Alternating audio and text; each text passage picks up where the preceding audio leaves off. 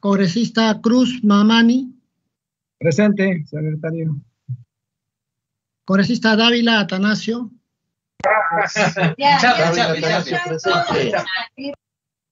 Congresista Flores Ancachi. Flores Ancachi, presente. Congresista Geriore. Congresista López Morales. Congresista Luque Ibarra.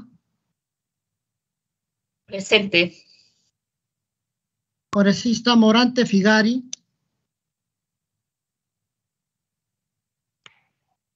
Congresista Padilla Romero. Padilla Romero, presente. Congresista Palacios Guamán. Presente. Congresista Paredes Castro. Internet.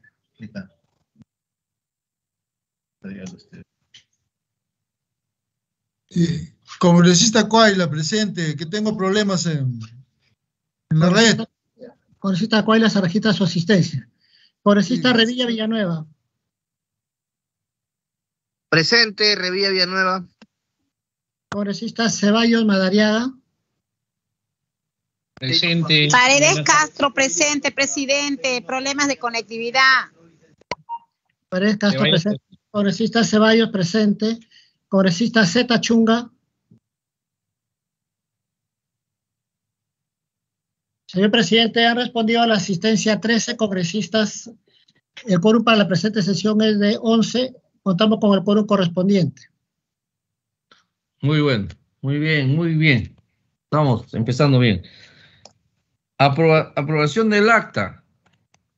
Señores congresistas, con el quórum reglamentario se da inicio al du- dúo décima sesión ordinaria de la Comisión de Energía y Minas.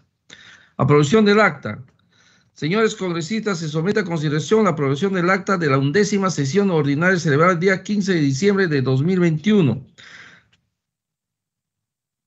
Si ningún congresista formula observación, se dará el acta por aprobada. No habiéndose presentado observaciones, ha sido aprobada el acta de undécima sesión ordinaria de la Comisión de Energía y Minas. Pasamos a la sección despachos. Señor presidente, Sí, señor Morán. Sí, señor congresista. ¿cómo está? ¿Qué tal? Eh, presidente, tuve algunos problemas para poder conectarme. Si me pudieran considerar la asistencia, se lo agradecería sobremanera. Ok, señor secretario, por favor. Presidente, presidente, por favor, Cordero Yonti María, presente. Asistencia, gracias. No se preocupe. Paredes. Castro, Fran, por favor, su- mi asistencia, por favor, presidente. Ok, paredes. Cruz Castro. María Z. Bien. Presente. Buenas tardes. Buenas tardes, señorita. Señora congresista. ¿Qué tal? ¿Están todos? Espero secretario? Por favor, Un Cordero feliz año. Yonti presente. Ok, Cordero, la congresista Cordero, por favor. Ya está. Sí, señor presidente, se ha, se ha, a los congresistas que han.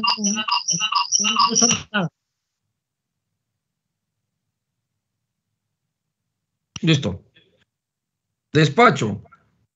Se da cuenta que en el periodo comprendido entre el 15 de diciembre de 2021 y el 4 de enero del presente año ha ingresado a la comisión las siguientes iniciativas.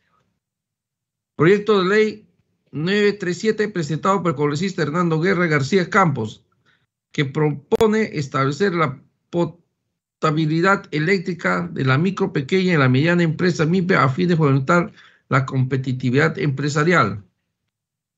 Proyecto de ley 990 presentado por el Poder Ejecutivo que propone modificar la ley 27510, ley que crea el Fondo de Compensación Social Eléctrica.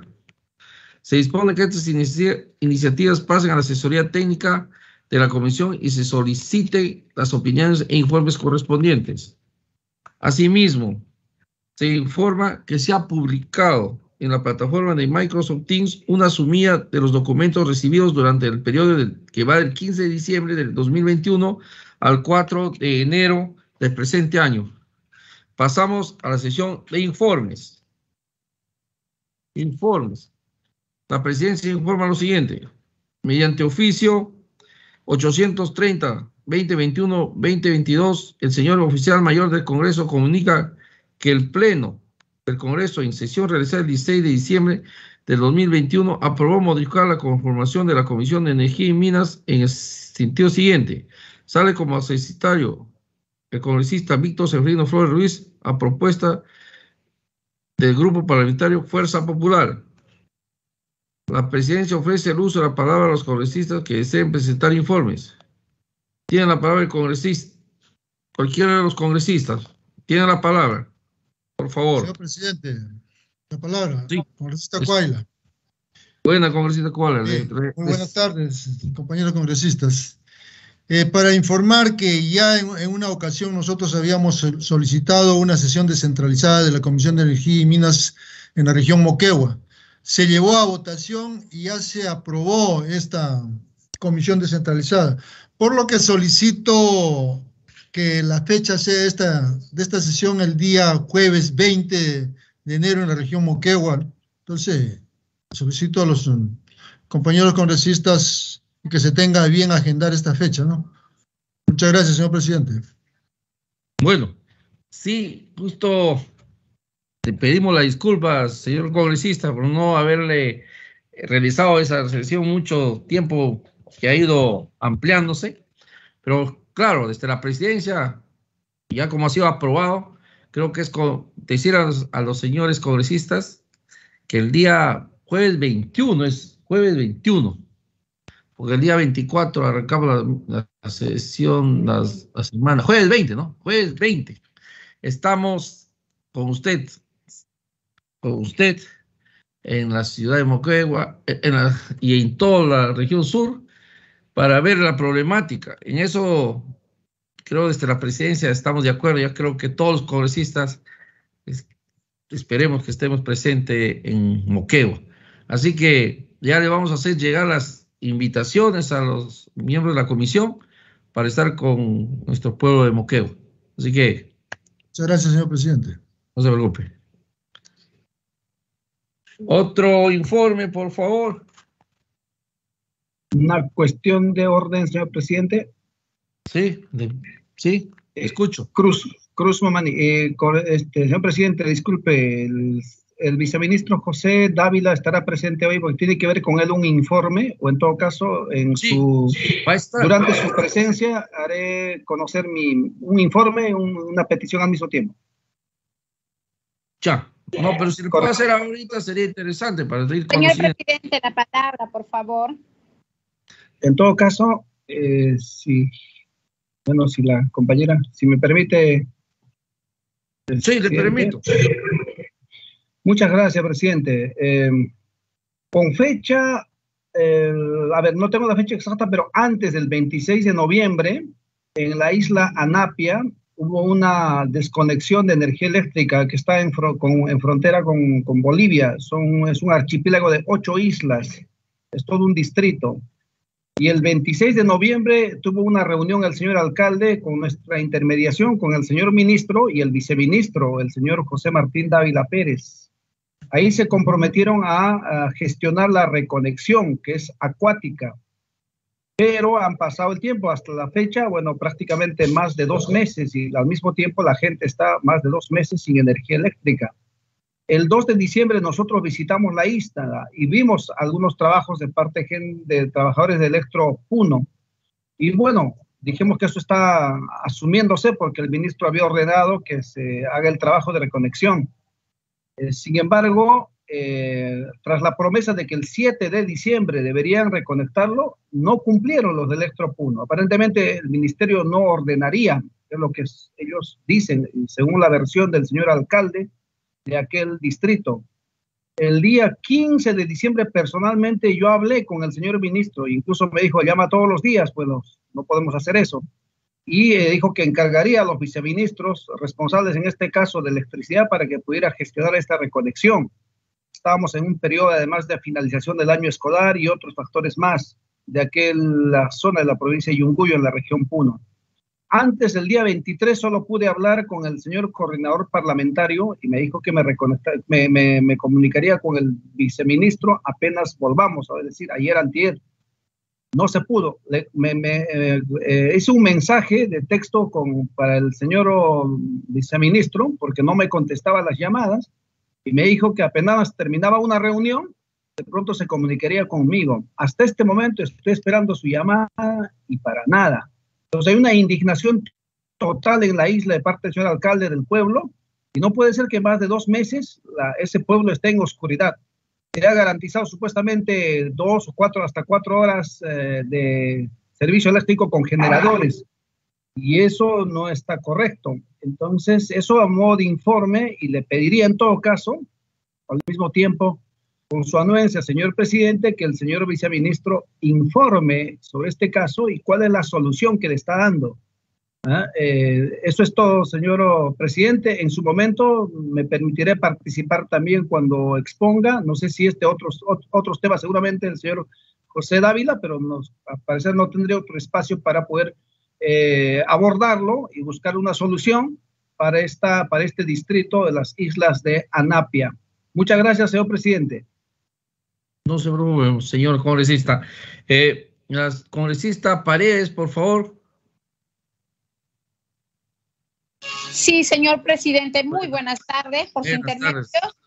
Quisiera saludar a todos mis colegas congresistas y al mismo tiempo informar a nuestra comisión que he participado en la ceremonia de retorno de Petroperú a las actividades de producción de petróleo después de 25 años de manera histórica. Como es de conocimiento público, Petroperú ha tomado el control de las operaciones de producción del lote 1, ubicado en la histórica cuenca petrolera de Talara que tiene 190 pozos y produce actualmente alrededor de 540 barriles de petróleo por día. Petroperú retorna una vez más a la explotación del lote 1 después de que venciera el contrato de 30 años con la empresa UNA a través de los decretos supremos número 030 de 2021 que se autoriza a Petroperú la producción de petróleo y de líquidos de gas natural. Queda pendiente, señor presidente, y dejo aquí este, este llamado a todos mis colegas congresistas que también tenemos el inicio de las operaciones y el control de los lotes 192 y 64 ubicados en la región de Loreto que deben aportar el petróleo que necesita la nueva refinería de Talara, que tiene un potencial de procesamiento de 95 mil barriles por día. Como representante de la región de Ucayali, me identifico, señor presidente, con todas estas necesidades de garantizar la seguridad energética para nuestro país. Y por eso es necesaria la intervención responsable de Petroperú en la fase de explotación del petróleo, por eso saludo el inicio de las actividades en el lote 1, porque el éxito de Petroperú es el éxito y el bienestar del país, como también de esta comisión por las cuales todos nosotros presidimos. Muchísimas gracias, estimado presidente y a mis colegas congresistas. Muy bien, congresista, muy bien. Saludamos a Petroperú. Eh, seguimos a otro congresista que tiene que dar informes, por favor. Ingeniero, eh, congresista Alba, eh, presidente, Carlos Ceballos, por favor. También, ingeniero. Eh, bueno, primero aunarme al pedido que hace el congresista Flavio Cruz, y efectivamente la isla de Napia pues, se encuentra hoy abandonada prácticamente. hemos estado reunidos con el gerente general de Electropuno para darle la solución ya en el, en el mes de diciembre eh, hemos tenido que optar traer equipos electrógenos de Bolivia para poder darle solución a los hermanos de la isla de Anapia. Sería bueno presentar eh, un documento, eh, señor presidente, de parte de la comisión, dirigido por su persona, al ministro de Energía para tomar cartas en el asunto de manera inmediata. Son dos meses prácticamente que están sin luz nuestros hermanos de la isla de Anapia.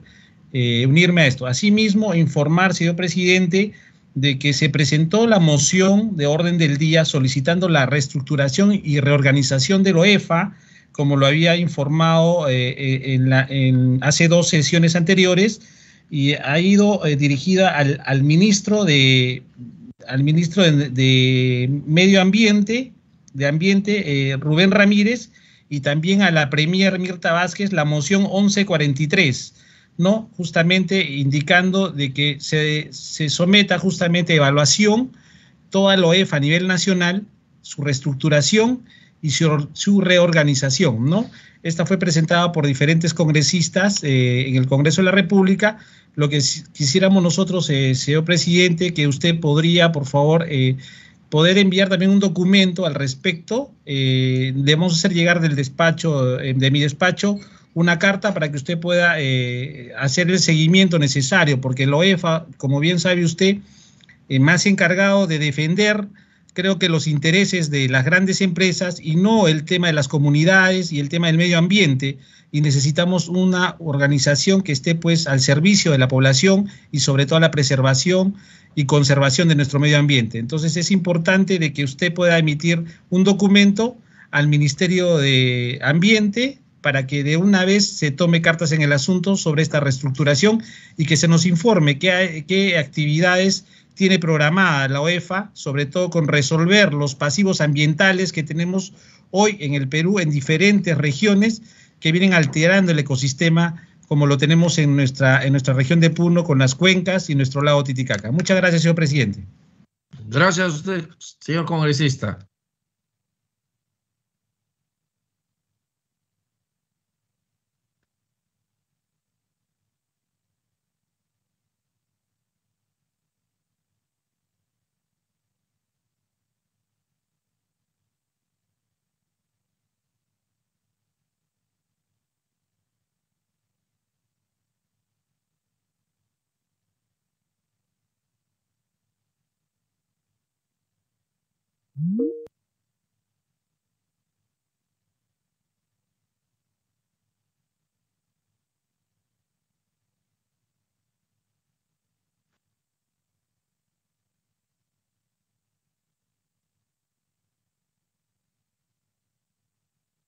Bien.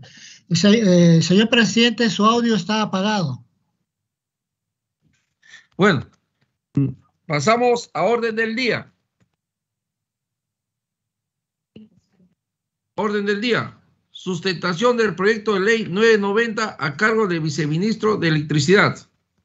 Señores congresistas, la presidencia saluda y agradece la presencia en la plataforma de sesiones del señor José Martín Dávila Pérez, viceministro de Electricidad del Ministerio de Energía y Minas, quien concurre en representación del señor ministro del sector con el fin de exponer y sustentar el proyecto de ley 990 presentado por el Poder Ejecutivo en virtud del cual se propone modificar los artículos 1, 2, 3 e incorporar el artículo 3-A en la ley 27510, ley que crea el Fondo de Compensación Social Eléctrica. Reiterando el agradecimiento por su presencia en la sesión, dejo en el uso de la palabra al señor José Martín Pérez Dávila, viceministro de Electricidad, para que dé inicio a su exposición. Señor viceministro. Ingeniero. Carlos Enrique Alba, presidente de la Comisión de Energía y Mina del Congreso, eh, miembros eh, de la comisión, muy buenas tardes. Eh, señor este, presidente, quisiera antes de poder explicar la- el proyecto de ley, dar algunos alcances a las dos consultas que nos habían hecho los congresistas de Puno. Bueno, sí, sí, claro. Correcto. Eh, bueno, en tanto proyectan la, la presentación que le- le- les habíamos pasado. Eh, señores congresistas, las disculpas del caso, hemos estado con varios temas en, en Amazonas, en Alto Amazonas, ¿no? Eh, y hemos tenido que viajar de urgencia, por eso que no le hemos podido contestar al, al- congresista Flavio, pero las islas de Anapia, efectivamente son ocho islas. Nosotros a los cuatro días que hubo la, el daño de un cable subterráneo que sale de Puno hacia las islas de cuatro kilómetros, eh, de manera inmediata eh, se contrató a través de la empresa Electro Puno grupos electrógenos. Puse uno, luego dos, que están ahora mismo 12 horas de electricidad a la isla. También hemos hecho 10 kilómetros de No, no se escucha bien, señor presidente, no se escucha bien. Sí, ¿me, me escucha? Sí, sí, señor viceministro. Hay un, eco, hay un eco. no Ahora ya no. Ahora Ya. Señor presidente, señor presidente, Hace rato que he querido participar, pero no, no, no se escucha. Eh, no sé si será problema de ustedes o mi, o mi internet que está fallando, pero yo he querido participar en informes y no logré. Pero bueno, este, sí, referente a, a pedido, a informes, perdón. Pero bueno, ya sé que han pasado otro pues. punto. Ah. ¿Me escucha? Sí, sí le escucho. Ya. Presidente, muy buenas tardes y a todos los colegas presentes. Gracias por la participación, por haberme permitido participar. Bueno, eh, presidente, le informo, este, nosotros hemos estado presente como titular de eh, Energía y Minas en la Comisión Energía Minas, como congresista de la República, he participado con el presidente de la República en la ciudad de Talara, en la entrega del lote 1, que es, un logro grande para la región Piura y para todo el Perú. Es un proyecto muy importante y un logro especialmente para nuestra región. Eso quería informarle que como titular he estado participando en esa reunión que ha sido muy importante. Eso es, era nomás mi participación, señor presidente. Gracias. Ok, señora congresista. Disculpe, señor viceministro, continúe dando respuesta a los congresistas, por favor. Sí, disculpe. Entonces, como les indicaba, tienen 12 horas de servicio eléctrico con grupos electrógenos. Sin embargo, tenemos una, en tanto se arma el expediente y eh, cambiamos este cable subterráneo de 4 kilómetros, ¿no? que es un trabajo que duraría más de seis meses. Ahora mismo hemos trabajado con la hermana República de Bolivia para que el presidente eh, firme un decreto de urgencia en la, eh, en, la conexión provisional de darnos energía eléctrica en la isla, a la isla de Anapia. Entiendo que esta semana ya pasó el del ministro hacia el despacho del señor presidente la firma el día de hoy estoy dirigiéndome a Palacio de Gobierno para solicitarle al señor presidente eh, eh, que pueda coordinar con su par en Bolivia y se autorice este decreto de urgencia la interconexión de esta parte nomás de Bolivia eh, para las islas de Anapia. Con eso y esta semana garantizaríamos las 24 horas. No obstante, el día sábado ingresaremos con otro grupo electrógeno de manera preventiva para tener una reserva fría y garantizar eh, el servicio eléctrico durante 18 horas, ¿no? Eso es porque se ha hecho un trabajo eh, de emergencia debido a que, vuelvo a decir, hay cuatro kilómetros de línea subterránea que no sabemos dónde está la falla, tenemos que cambiar todo el cable, lo hemos levantado y ese cable ya pues ya perdió su vida útil. Eso es lo que puedo informar y estoy sujeto a pasar un informe de manera oficial desde este, el despacho del señor ministro hacia la comisión y hacia los señores congresistas. Dicho eso, quisiera pues, que me permitan, por favor, poder eh, explicar en qué consiste el proyecto de ley que modifica la ley del Fondo de Compensación Social Energético de la ley 27510, señor presidente de la comisión. Aló. Me, gustaría que, a ver si se proyecta, por favor, la presentación que le habíamos pasado ahí a la comisión. Oye, entra por Facebook. ¿Cómo se hace? Señor congresista.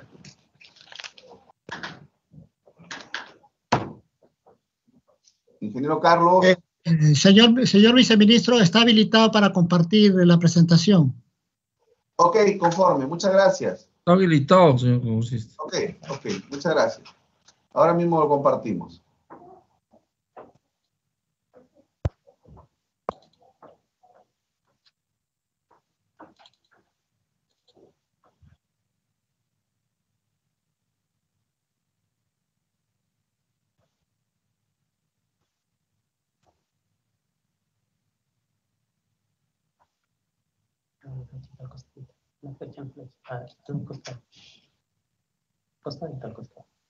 No, más Escucha. Sí, no, deme un segundo, por favor, ya estamos compartiendo. No te preocupes, gracias. Este, compartido abajo, al costado del círculo. Al otro lado, no. El ministro. Ok,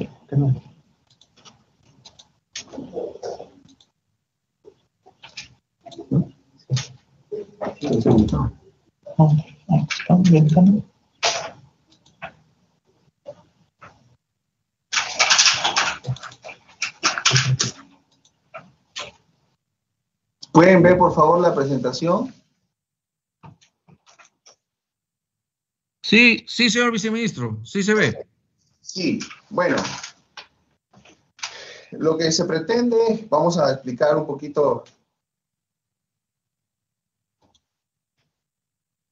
Puede pasarme el, teclado.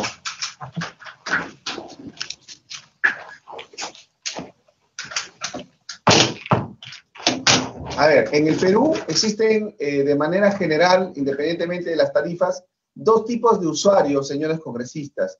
El usuario regulado, que consiste pues en la bodega de la esquina, en la panadería, en la edificación rural o en las eh, grandes ciudades, ¿no?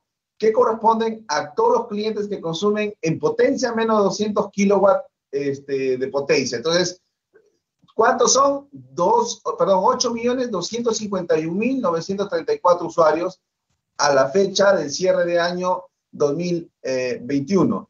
Y como usuarios libres son todos los clientes que superan los 200 eh, kilowatts, que son 2.552 usuarios en el Perú, ¿no? que la mayoría son grandes fábricas, eh, centrales mineras, eh, los malls, los supermercados, etcétera, ¿no? Entonces, tenemos dos tipos de usuarios, ¿no?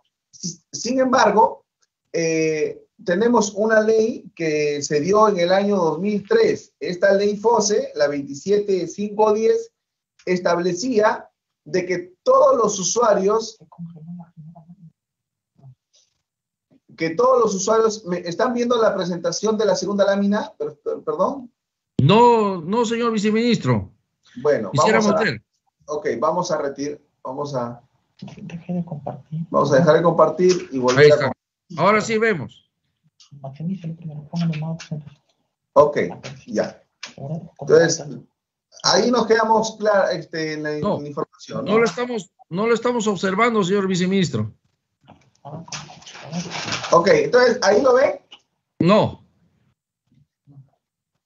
Ya, un ratito, por favor. Vamos a, a eliminar todo.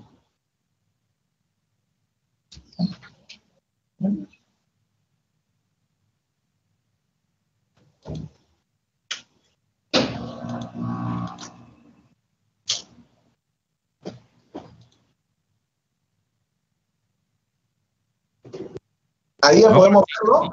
Ahora sí, ahí lo vemos. Ya, no sé, la siguiente lámina se ve usuarios regulados 8.251.934 y en la otra usuarios libres 2.552. Ya. Entonces, eh, ya vamos a la tercera lámina. Denme un segundo, por favor, para... No sé qué está pasando.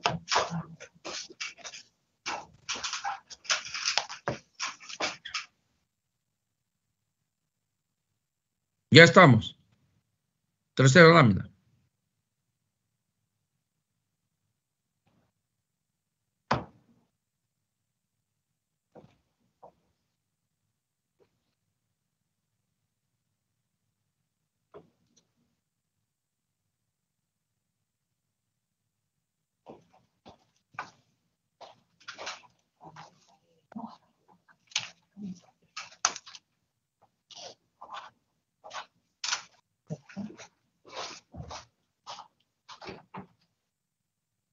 Ingeniero, ¿ahora podemos ver? Sí, ahí estamos. Sí, se ve, ingeniero. Ok, disculpen entonces. La tercera, la tercera lámina corresponde a, la, a que en el año 2003 se, cree, se crea un fondo eh, para, para subsidiar de manera cruzada a los usuarios que consuman menos de 100 kilowatts hora. ¿Ya? Eso hasta ahora existe, ¿no? Usuarios que consumen más de 100 kWh, que son entre 70 y 80 soles, se le recarga desde el año 2003 4.3% en su recibo para beneficiar a los que consumen menos de 100 kWh, que es eh, cómo es que se mide la energía eléctrica en el Perú, ¿no? Siendo los beneficiarios y aportantes actuales, ¿no? Los aportantes eh, son de, la totalidad, son el, 67% más o menos los que le dan al otro porcentaje, al los, el 38% de, de, de, usuarios, que son 3.161.484 usuarios, le, eh, le dan al 5.090.000 usuarios eh, un aporte de subsidio cruzado. ¿No? Eso es lo que actualmente se tiene eh, el, el, FOSE como un, un subsidio cruzado, ¿no? y beneficia en promedio a 25% de usuarios interconectados eh, en su tarifa, en, zona urbana, en zona urbana rural 50%, ¿no? Y igual en sistemas aislados un poco más. Eso es como está la ley, ¿no? Sin embargo, si nosotros vemos, los únicos que aportan son los usuarios regulados y los usuarios libres, que son la cantidad de usuarios de 2.552 que como volumen de energía es el 60% de todo el consumo del Perú, no aportan nada, ¿no? Y solamente si nos basamos entonces que todos los usuarios que consumen más de 100 kilovatios deben aportar, estos clientes libres consumen miles de megavatios este, hora eh, al mes y no están aportando. Entonces la idea es un poquito que estos clientes aporten y ¿por qué? Y acá viene el por qué, ¿no?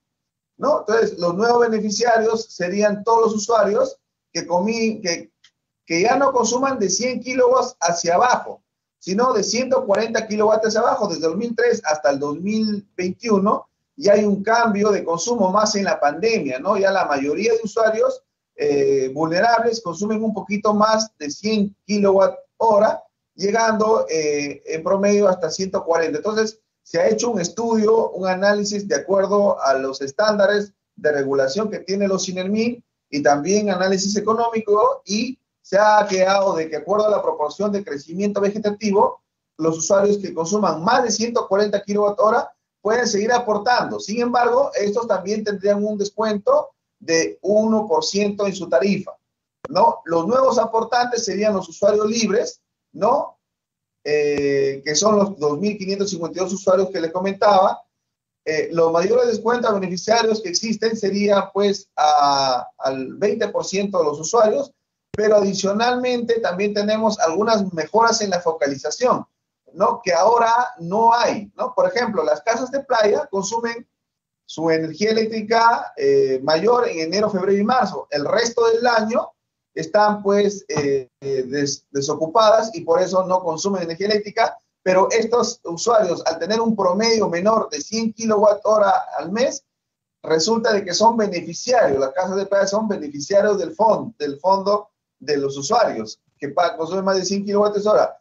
De, otro lado también el INEI ha establecido zonas eh, de, alta, de alto poder adquisitivo que a la fecha también los usuarios que consumen menos de 100 kilowatt porque están de viaje, etcétera, reciben el, sustento, el, el fondo de compensación y también algunas personas que siendo funcionarios públicos o teniendo sus recursos, eh, no existe la posibilidad de que se desafilien a simple solicitud. La idea está de que esta ley contemplaría de que las personas que no quieren recibir este fondo eh, no lo hagan, ¿no? Yo viví en Lambayeque, por ejemplo, ahora que vivo en, en Lima, ya mi casa de que consumía un poco más, ahora soy beneficiario del FOSE y la idea es que de manera voluntaria me retire de este fondo y pueda eh, ayudar pues a la familia realmente que lo necesita. Entonces, a través de los años, siempre los clientes libres a precio spot han pagado un poquito más eh, que los regulados, ¿no? Pero miren, desde el año 2013 hasta la fecha, tenemos ahora mismo 14 mil megavatios de potencia instalada en el Perú y de los cuales solamente se, se consumen 7000. Entonces, hay una sobreoferta de demanda. Hay mucha empresa que genera energía eléctrica. Cuando hay mucho pescado, un símil, ¿no? Cuando hay mucho pescado y pocos compradores, lo normal es que el precio baje del pescado. Entonces, en este, en este esquema también ha bajado el costo de la energía eléctrica, pero solamente debido a contratos a largo plazo que están obligadas las empresas eléctricas concesionarias del Estado a tomar para evitar la volatilidad del, consumo del diésel o la generación térmica, los que están beneficiados de esta sobreoferta son los clientes libres que pueden hacer contratos al, al, corto plazo de un año. Entonces, en promedio, mientras los usuarios regulados están pagando 77 dólares el megavatio, ¿no? El usuario libre está pagando 40 dólares el megavatio. Entonces, ahí hay 37 dólares, eh, este, vuelvo a decir, en promedio de una desviación que ha ocasionado el mercado. Entonces, es necesario por parte del Ministerio de Energía y Minas y por parte de nuestro prestigioso Congreso de la República tomar algunas acciones que equilibren un poco y beneficien también esta sobreoferta que hay hacia los clientes regulados. Entonces, la idea es de, que los, usuarios, miren, los usuarios libres en el 2003 pagaban 64 dólares el megavatio, ahora están pagando 40 dólares, teniendo una utilidad o un margen en el costo mayor. ¿no? Eh, y que se vuelve en utilidad bruta, porque los, por ejemplo, los, los minerales se venden en, en, el extranjero a precio internacional. Entonces, ese ahorro de energía eléctrica, eh, cuya energía eléctrica es muy competitiva en el, en el mercado latinoamericano, estamos sobre los 50 dólares. Entonces, las grandes empresas están consumiendo a 40 dólares el megavatio, siendo muy competitivo el costo o muy barato la energía eléctrica en el Perú. ¿no? Entonces, esa distorsión ha hecho pues de que no tengamos un adecuado, eh, digamos, un adecuado equilibrio, ¿no? Como ven abajo en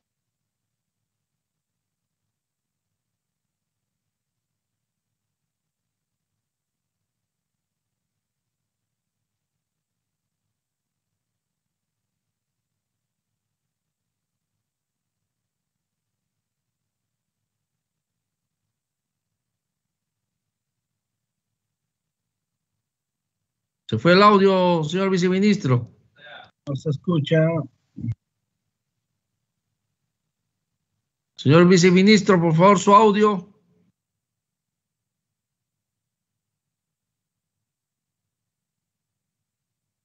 Señor viceministro.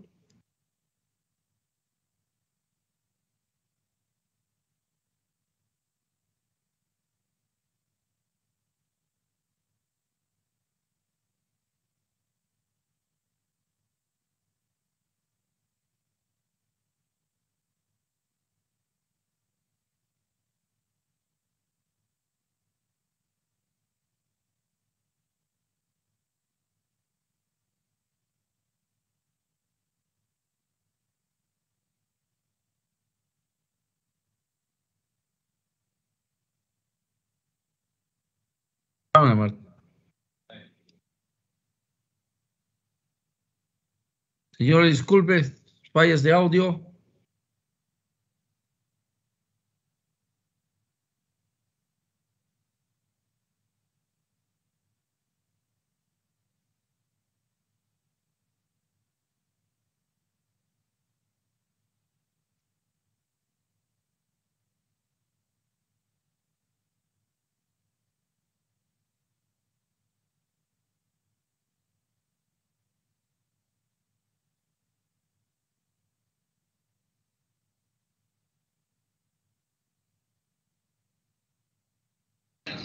Señor presidente, no se escucha nada.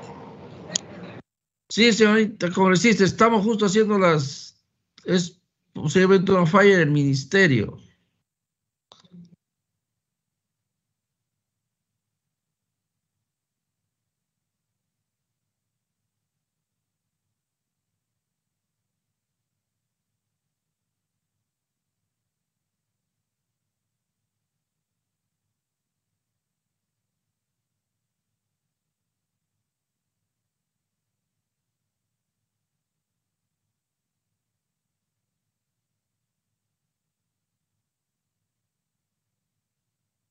Señor viceministro, por favor, prenda su audio. Señor viceministro.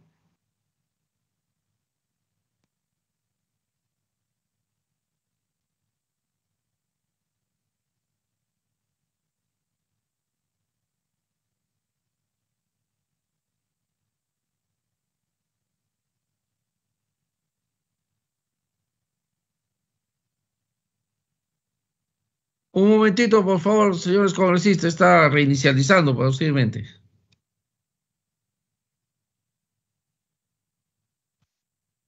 Quieren que inicie todas las cosas y que firme todo. Después. Aló. Sí, señor viceministro, se fue el audio. Se fue el audio y luego perdí la comunicación. Ya. Estamos en la parte del, en la exposición, en la página 4. Ya, ¿pueden permitirme, por favor? Ahí está, compartir, ya está.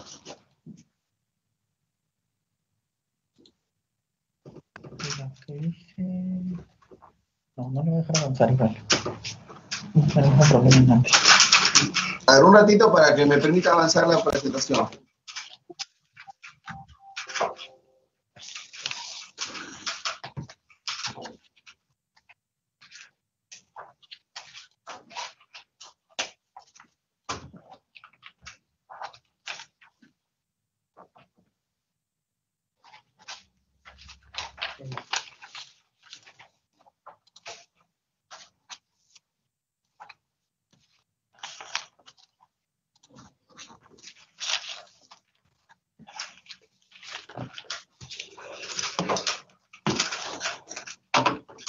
Ahora,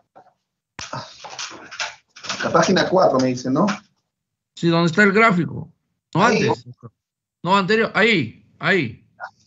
Sí, les decía que la distorsión es esta, ¿no? Es- mientras el mercado regulado paga 77 dólares el megavatio, el cliente libre está pagando 40 dólares. Entonces la propuesta es que los usuarios, hay una diferencia este, en el- la media nomás, iríamos a mediar la tarifa de 18.5, en total son 37, ¿no? Entonces la propuesta es de que el incremento tarifario para los clientes libres que aporten ahora ya este fondo, que lo pagan solamente los, re- los regulados ahora, se incremente en 1.36 dólares el megavatio hora. Con ello, nosotros podemos tener un, eh, digamos, una caja de 20 o 22 millones que no van al ministerio, sino irían a que los Sinermin luego determine eh, la, la reducción ¿no? o el pago de la- del parte del recibo de los usuarios regulados. Entonces pasaríamos nosotros ahora mismo de 5.2 millones de, de 5 millones de beneficiarios a 5 millones 638 mil, ¿no? Incrementamos el 7%. ¿Por qué? Porque los clientes que consumen de 100 a 140 se verían beneficiados hasta de un 16% en la tarifa. Entonces, la clase media va a poder ahorrar 16% de su pago de luz, ¿no? De 100 soles va a ahorrar 16 soles, ¿no? Y los clientes que consumen más de 140 kilowatts también van a tener una disminución de 1% eh, en, en- en- su tarifa eléctrica, debido a que tendríamos ahora nuevos aportantes que son los clientes, los clientes libres. Entonces, a nivel del Perú, los beneficiarios eh, serían, nuevos beneficiarios serían 765.738, que harían más de 3 millones, y los aportantes, por, eh, los beneficiados por cada región, estaríamos, eh, lo mostramos ahí, ¿no? Eh, pueden, lo, podemos alcanzar la presentación, pero en gráfico estaríamos ahí, ¿no? Entonces, eh, a nivel, a nivel de, de, la región del país, si ustedes, de- en el mundo, nosotros estamos en promedio entre 39 y 40 dólares, mientras los demás están en 55. Ahora mismo, eh, Europa está teniendo a, a 300 euros el megavatio.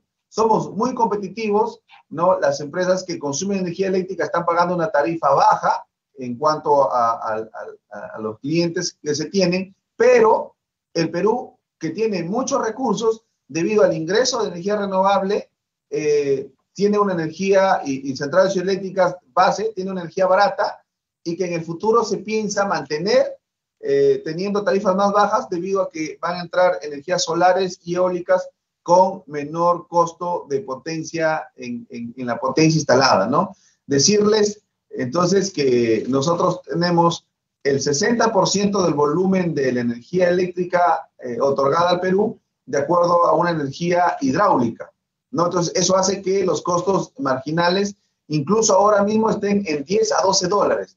Entonces, las empresas de generación están generando en promedio en 10 en 12 dólares, le venden al cliente libre en 40 dólares y al, cliente regulado se le vende 77 dólares.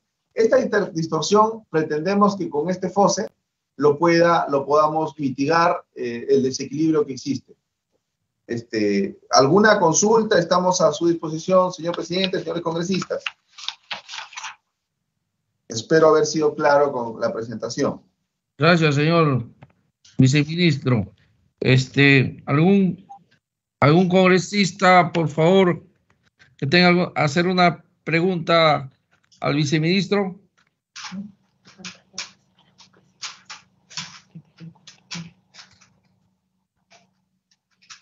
Por favor, algún congresista, una pregunta al viceministro.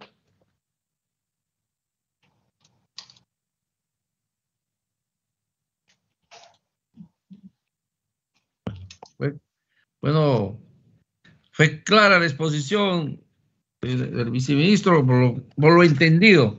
Bueno, lo que quisiera... Presidente, por favor, la palabra. Por favor, la, palabra. Tiene la palabra usted, señora congresista. Gracias, presidente, por su intermedio. Saludos a los colegas parlamentarios. Según se puede apreciar en el cuadro de facturación y número de usuarios que presentan en la propuesta legislativa, podemos concluir que se pretende realizar una subvención cruzada a más del 70% de usuarios residenciales. Este proyecto de ley modifica los artículos 1, 2 y 3 de la ley 27510, ley que crea al FOSE, para, primero, incluir en el FOSE y favorecer a los usuarios residenciales con consumos menores de 140 kilowatts. Segundo, dispone que los recursos del FOSE se financiará con los recargos a los usuarios, excluidos del descuento FOSE, los usuarios libres, incluyendo los usuarios libres en el mercado mayorista de electricidad, las empresas. Formulo las siguientes preguntas al señor viceministro, siempre por intermedio de usted, señor presidente. ¿Cuántos serán los nuevos usuarios afectados, personas naturales y empresas que asumirán a quienes se les recargará la tarifa, es decir, el subsidio que se propone? De igual forma, que nos explique en qué rangos se estima el aumento del pago de servicios de electricidad en los afectados. Eso es todo, señor viceministro, señor presidente, por su intermedio. Gracias, presidente, gracias, colegas congresistas. Muchas gracias, señor congresista. Señor viceministro. Sí, si me permiten, por favor, este... Vamos a ver. Deme un segundo, había retirado la presentación, pero tenemos esas respuestas.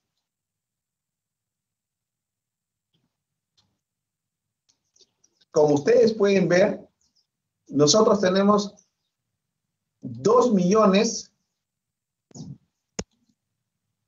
Ahí está, vamos a ver. Si pueden ver esta, esta, esta la posibilidad 9,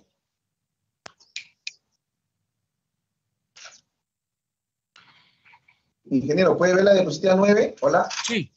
Ah, ya, ok. Si nosotros vemos, nosotros no le vamos a recargar, es más, se va a descontar al 100% de la tarifa eléctrica de los usuarios regulados, se le va a hacer un descuento del 1% hasta llegar al máximo del 16%, a todos. O sea, la clase media no va a pagar. Los que van a pagar son los 2.552 usuarios de los clientes llamados libres, 2.552 empresas que teniendo ahora un beneficio de pagar por el mismo megavatio que se genera en el Mantaro, vamos a dar un ejemplo, mientras el regulado de la tienda paga 77 dólares, este cliente paga 40 dólares. ¿En cuánto se le va a recargar? Se le va a recargar en 2.5%, o sea, en 1.36 dólares el megavatio consumido que como vuelvo a decir es el 0.001 céntimo de dólar por kilowatt. Lo que el usuario regulado está pagando ahorita 40, 50, 60, hasta 70 céntimos. Entonces, los que van a pagar, ¿no? Vuelvo a decir, los que siempre han, han estado pagando han sido los regulados. Ahora, vamos a liberar a estos clientes regulados y los libres que ahora tienen precios demasiado competitivos por la mitad de los regulados puedan aportar en tanto la ley anterior establecía que todos los usuarios de 100 kWh de mayor consumo son aportantes. Entonces, nadie vio que los libres que consumen miles de megavatios también deben ser los aportantes. ¿No? Entonces, eso es un poco eh, lo que pretende esta ley. Los 2.552 clientes eh, libres, solamente ellos, paguen 1.36 dólares por megavatio para beneficiar ahora ya a 5.538.529 eh, usuarios de manera de, con descuentos del 5 al 16% y a todos los que superan eh, los 140 kilowatt hora se le descuenten se le descuente 0.9% este, en su recargo FOS.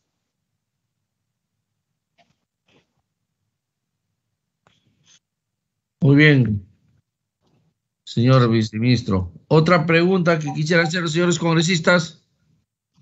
Por favor. Otra pregunta. Bueno. Reiterando el agradecimiento por su presencia en la sesión, dejo, agradezco al viceministro de Electricidad por su informe.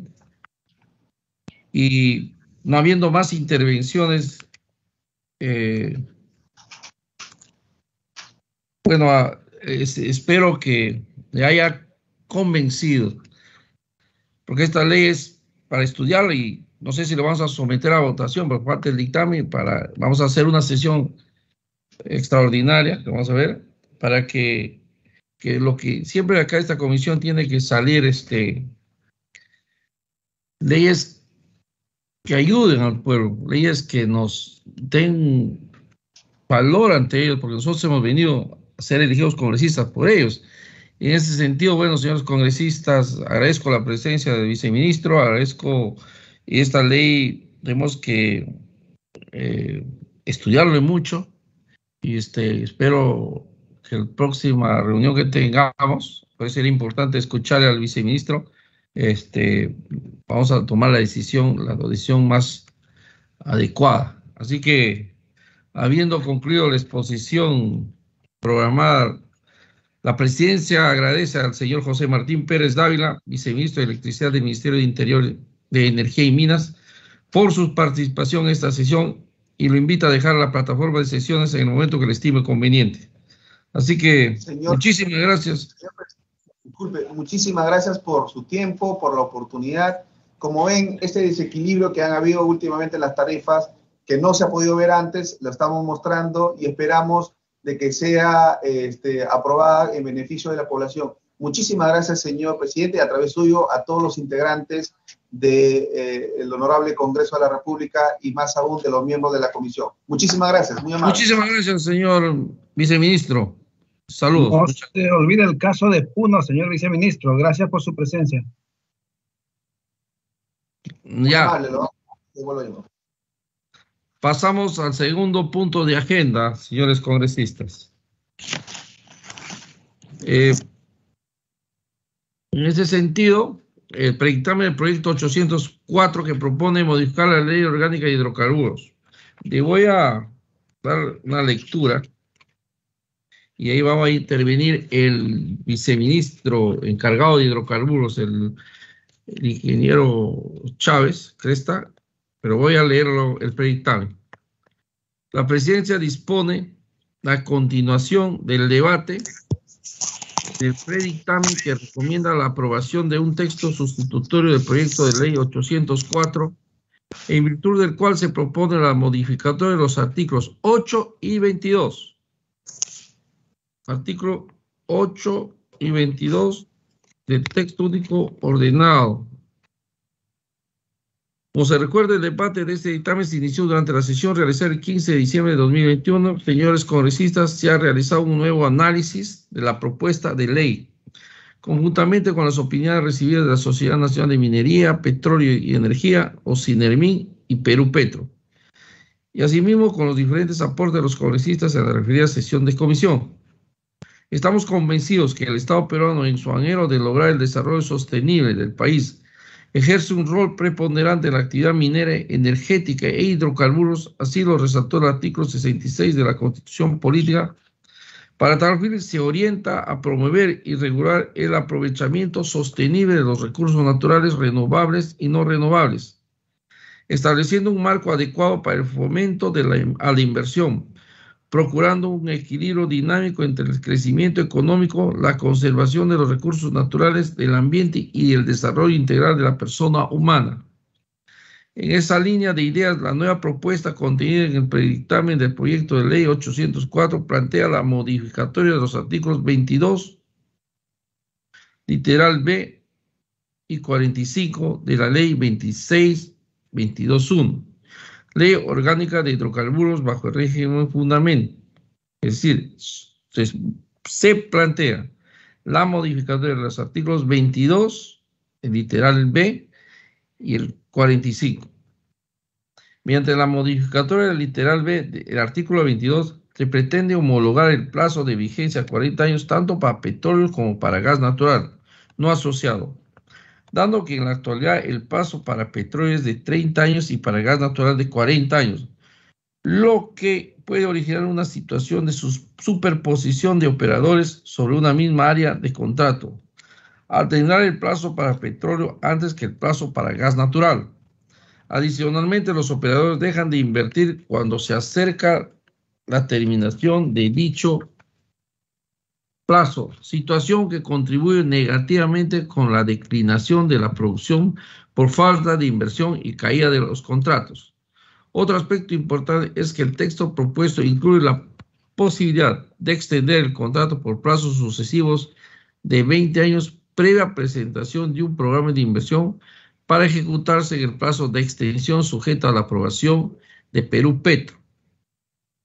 En cuanto a la modificatoria del artículo 45, se deja a salvo el derecho del Estado de hacer efectivo el cobro de la regalía mediante la retención de hidrocarburos a que se refiere el artículo 42, procedimiento que Perú Petro puede aplicar cuando un contratista no cumple con pagar la regalía en el plazo establecido por el reglamento y el contrato. La propuesta de modificar el artículo 45 de la ley 26221 se fundamenta en las siguientes razones. La ley orgánica de hidrocarburos establece en su artículo 42 que el Ministerio de Energía y Minas, a través de Perú Petro, tiene derecho de retener en forma automática y sin previo trámite el volumen de producción proveniente del área de contrato requerida para cubrir la regalía en la eventualidad en que el licenciatario no cumpla con, la, con en la oportunidad acordada en el contrato. Debido a que el contratista es propietario de la producción del campo y de la producción fiscalizada, el derecho que tiene el Estado de retener hidrocarburos por el valor de la regalía no pagada, en la práctica puede colisionar con las trabas legales que impiden hacer efectivo el cobro de la regalía. Por ejemplo, existan creencias que tengan prioridad por sobre la deuda a Perú Petro, como deudas tributarias o laborales. Otro aspecto que se debe tenerse en cuenta es que para que Perú Petro haga efectivo el cobro de la regalía con el volumen de hidrocarburos retenido, tiene que primero hacer suyos esos hidrocarburos, que son propiedad del contratista. Con el texto propuesto, cuando Perú Petro ejerce el derecho de retener hidrocarburos por el valor de la regalía adeudada según el artículo 42 de la ley, los hidrocarburos retenidos constituirán pago en especie de la regalía con lo que Perú Petro podrá disponer de dichos hidrocarburos retenidos. Esto se condice con lo establecido en el artículo 1 del reglamento para la aplicación de la regalía y la retribución en los contratos petroleros aprobados por decreto supremo 049-93, el cual establece que la regalía es la obligación que le corresponde al contratista como contraprestación por la transferencia de propiedad de los hidrocarburos extraídos. Señores congresistas, ese es el resumen del contenido de la nueva fórmula al que arriba el análisis realizado al proyecto de ley 804 luego que del debate realizado en la última sesión y que recomienda la modificación de los artículos 22, literal B y 45 de la ley 26221, ley orgánica de hidrocarburos. Los congresistas, bueno, en este tema le doy la palabra al viceministro Jorge Chávez Cresta para que nos, él quiere dar un aporte sobre esto y, y, hacer, las leyes de acá deben salir con mucho análisis, con un consenso mayoritario y es por eso quisiéramos, no hemos tenido la oportunidad en este caso, pero él nos pide la intervención y, su análisis nos quiere hacer presente ante nosotros la comisión. Buenas tardes, señor viceministro. Buenas tardes, señor presidente de la Comisión de Energía y Minas, señor congresista Enrique Alba, y por su intermedio a todas las damas y a los caballeros congresistas, miembros de la Comisión de Energía y Minas del Honorable Congreso de la República. Antes que nada, nuestro saludo fraterno, señor presidente, y a la vez agradecerle la oportunidad de estar presente y emitir algunas observaciones y aportes sobre el predictamen del proyecto de ley número 804 Partido 2021, Congreso de la República, que propone modificar los artículos 22 y 45. El artículo 8 ya ha sido este, sacado del predictamen del texto único ordenado de la ley número 26221, Ley Orgánica de Hidrocarburos. Al respecto, en el artículo 22, tal como está el tubo de la Ley Orgánica de Hidrocarburos, en el predictamen existen en el acápite B dos eh, párrafos, llamemos así. En el primero, el que usted ha hecho en mención, la fase de explotación será de 40 años contados desde la fecha efectiva del contrato. En los casos previstos en los artículos 23 y 24, el plazo del contrato podrá extenderse para incluir los periodos de retención que se acuerden. La suma de los periodos de retención no podrá ser mayor de 10 años. Estamos de acuerdo en que debe llevarse a cabo esos cambios para hacer una homologación tal como se está llevando en el caso del gas, de 30 a 40 años. Sin embargo, en el segundo párrafo, quisiéramos muy respetuosamente indicar que la fase de explotación podrá extenderse por plazos sucesivos de 20 años cada vez hasta el límite económico del área del contrato. Significa de que aquel proyecto que termine los 40 años podrá solicitar en un plazo no menor de dos años para que se pueda ampliar por 20 años más y así sucesivamente.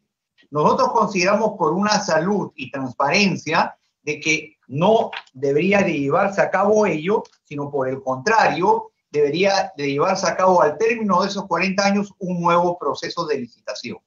Ese es nuestro aporte en ese sentido. Y con respecto al plan de abandono de finalización del contrato, consideramos que dicha obligación se encuentra conforme con el artículo 104 Reglamento para la Protección Ambiental en las actividades de hidrocarburos aprobado mediante el Decreto Supremo número 039-2014, EM y modificatorias. Con respecto a, a lo demás, eh, preferimos nosotros recomendar de que no sea de manera casi automática solicitándolo por parte del proyecto minero realizado por 40 años, sino que posteriormente se haga un proceso de licitación. Y en el artículo 45, ¿no? Lo que nosotros queremos, por una cuestión de forma, indica que en el aporte del predictamen, el contratista pagará la regalía al Estado a través de Perú Petro en efectivo. Lo que nosotros proponemos es de que el contratista pagará la regalía a Perú Petro o a través de Perú Petro. No consideraría al Estado porque como que considera algún tipo de confusión desde el punto de vista este, expresivo de forma ilegal. Después, en, cuando se habla de que en el caso Perú Petro ejerce el derecho de retención previsto en el artículo 42 y el pago de la especie de realidad deudada pudiendo disponer de dicho volumen de hidrocarburos, estamos totalmente de acuerdo. Y por último, si queremos este, ver que en la, en la primera disposición complementaria final no tenemos ningún tipo de problema en el sentido de que de prosperar estas modificatorias, de acuerdo a lo que se ha expresado, se tiene que otorgar a los contratistas de contratos de exploración de hidrocarburos y de, eh, vigentes para acogerse a estas condiciones normativas futuras. Es totalmente válido, pero en la segunda disposición complementaria se indica de un término de acordar la terminación anticipada de los mismos con la finalidad de celebrar nuevos contratos. A respecto sobre este primer párrafo, corresponde señalar que los contratos vigentes ya tienen establecidos programas de trabajo para el desarrollo de los lotes con compromisos de inversión a cargo del contratista, por lo menos en un plazo de cinco años. En ese sentido, la terminación anticipada significaría la paralización de la producción de los lotes de petróleo y gas, lo cual afectaría el suministro de un servicio básico como el gas natural para los hogares e industrias que se benefician con dicho recurso.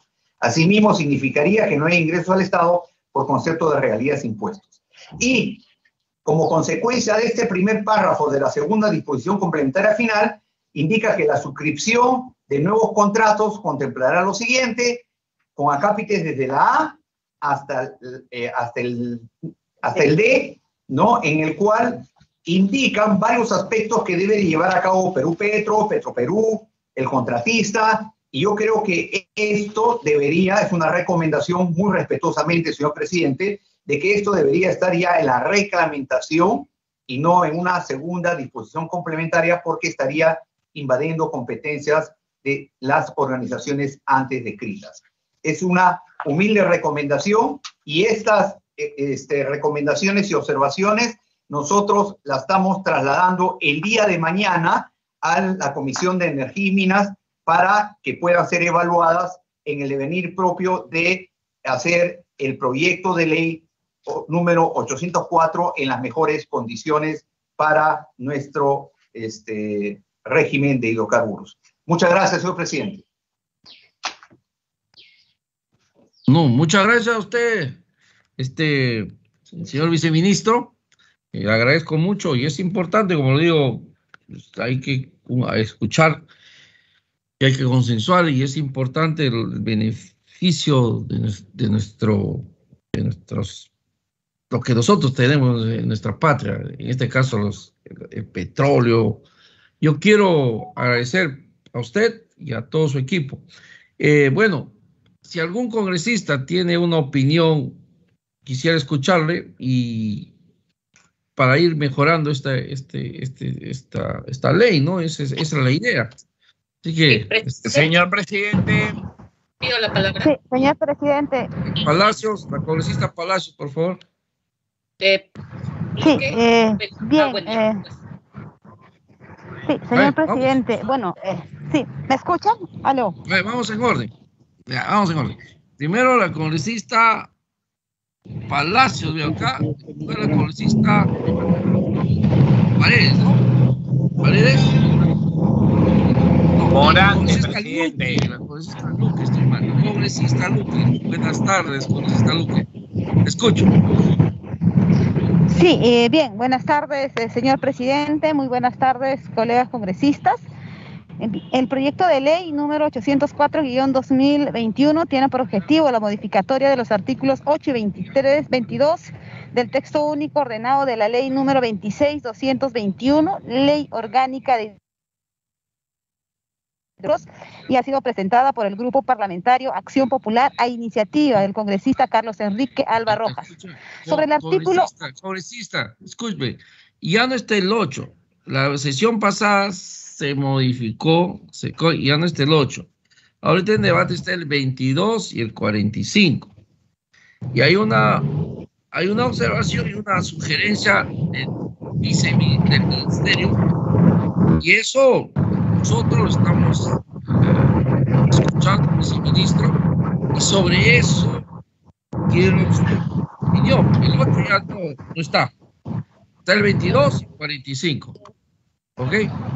¿Por qué? Porque la vez pasada mm, se notó y se vio que no, hay que ser consensual, no estaba. Ahora, hay que modificar. Mira, hace muchos años que no se hace nada de hidrocarburos y las consecuencias se están viendo ahora. Hay que ir puliendo, hay que ir mejorando y eso es el trabajo nuestro, sin ningún objetivo o otras cosas más allá. Lo que queremos es mejorar la política de Estado en la parte de energía y hidrocarburos de nuestra patria. En ese sentido, así como hemos venido viendo, queremos y para llegar a mejores la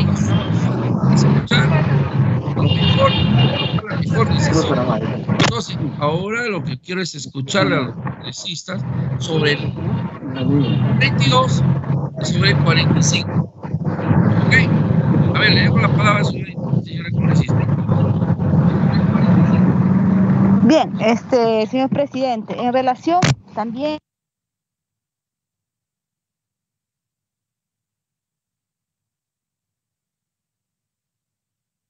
Escucho, señor, señora congresista.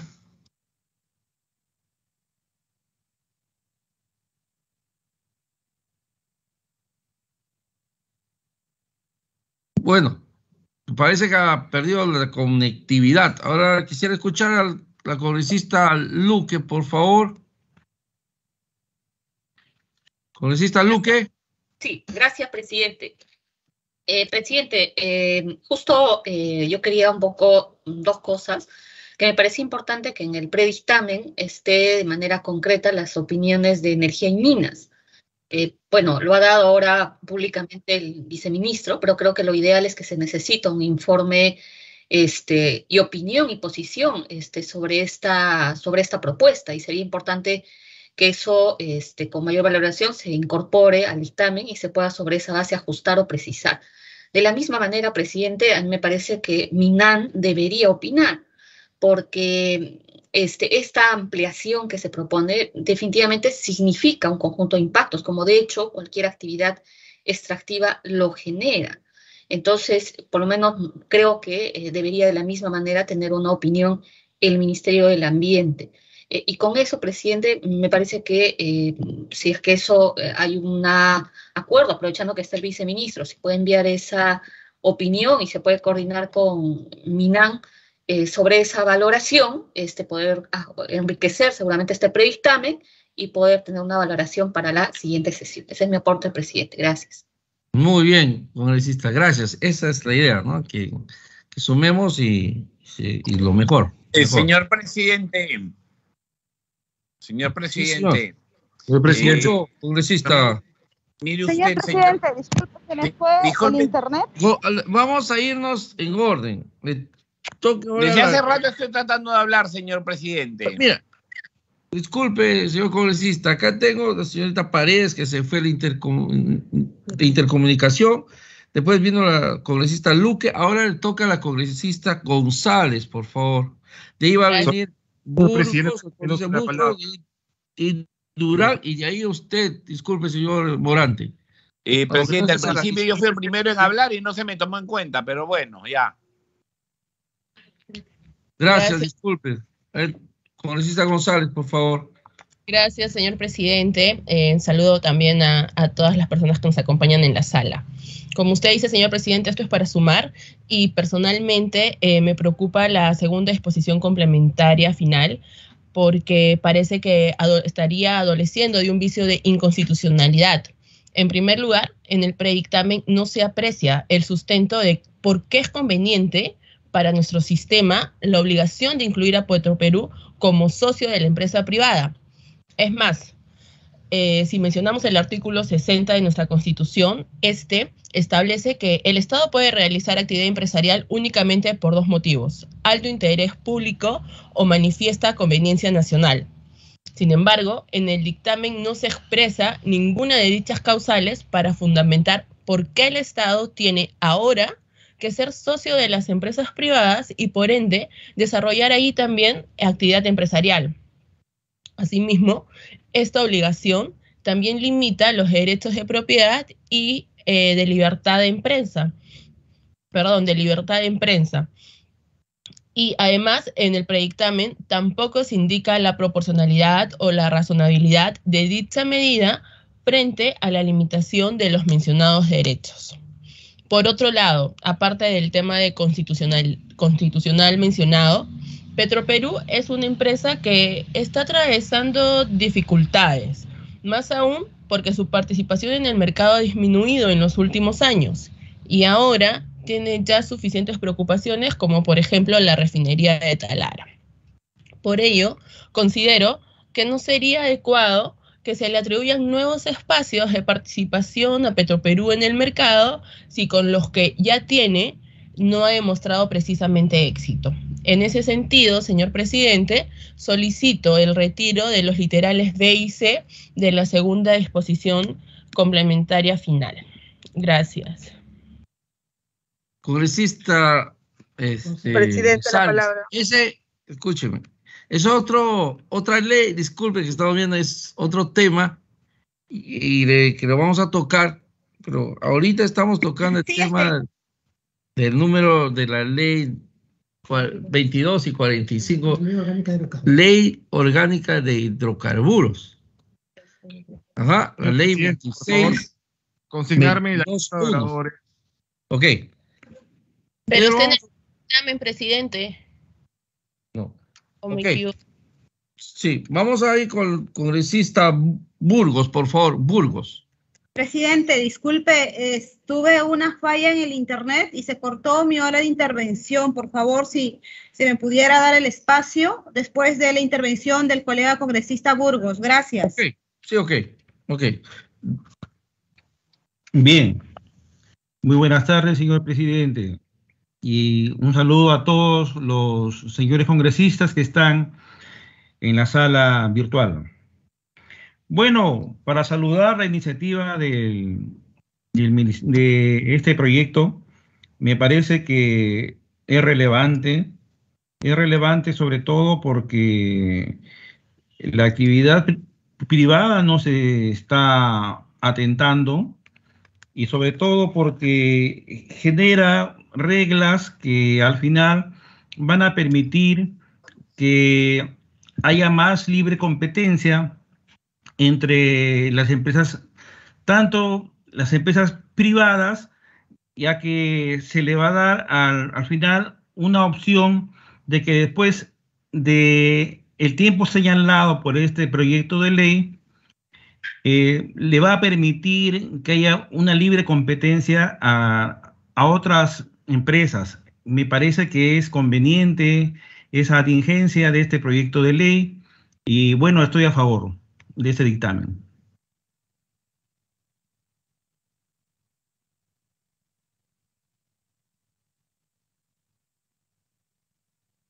Gracias, congresista Burgos. Terminemos con su intervención, congresista Luque, por favor.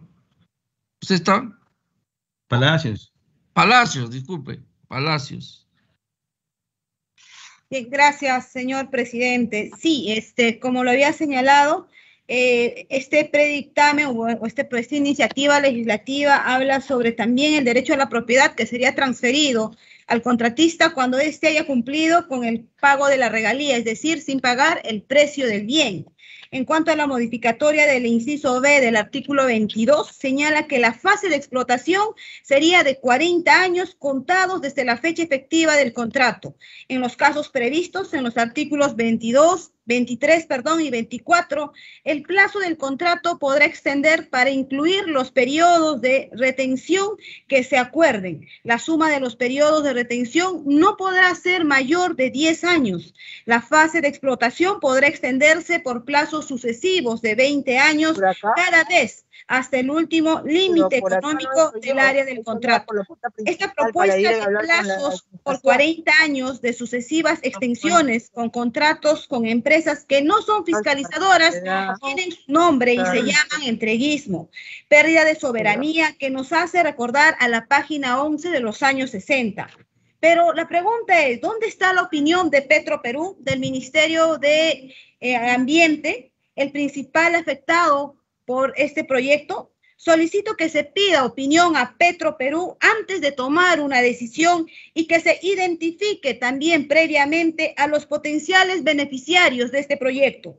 Señor presidente, si usted estuviera de acuerdo con mi pedido, solicito que se vote mi, solicitud de pedir previamente opinión a Petro Perú. No se puede votar un dictamen incompleto con un conocimiento parcial y cegado sobre el tema. Gracias, presidente. Gracias, este, congresista. No se preocupe, está bien su opinión. Escuchamos. El congresista Durán, Presidente, la por favor. palabra. Congresista Durán. Presidente, considéreme en la lista, por favor. Gracias. Cordero Yontay María. Cordero. Congresista Morante, congresista Morante. Eh, señor presidente, primero, el dictamen establece el análisis de los artículos 22 y 45 y además las dos disposiciones finales, tal como lo estableció la congresista González. El dictamen es completo, no es que podamos debatir un dictamen parcialmente. En tal sentido, yo coincido con la congresista González en el extremo de que la segunda disposición final es una disposición que claramente tiene aspectos que, que colisionan con la Constitución.